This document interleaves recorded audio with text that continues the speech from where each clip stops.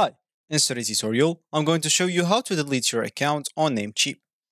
So the first thing you would like to do, of course, is just go and open your browser that you're going to use to follow this tutorial steps with. Here in my case, I'm actually using Brave. But of course, in your case, you can use any other browser could be possibly working for you.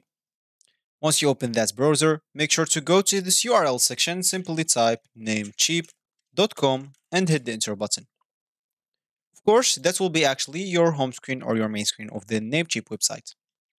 If you have an account, make sure to sign in into your account or log in into it by an option. You will find it here, which is the sign in option.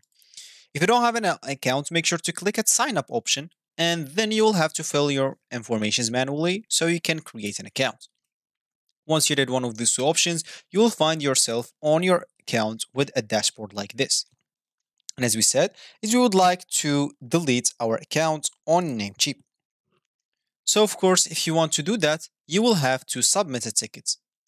Of course, if you want to know more about this, you can go and check one of our videos in this channel, which is much details about this.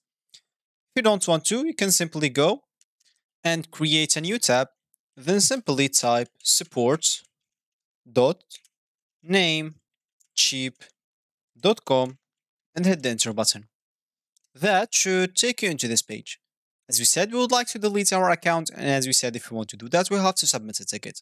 Simply click at this submit a ticket, and here, simply follow the instructions of what you want to do exactly. And of course, next, next, next. It's going to be very easy to do by your own.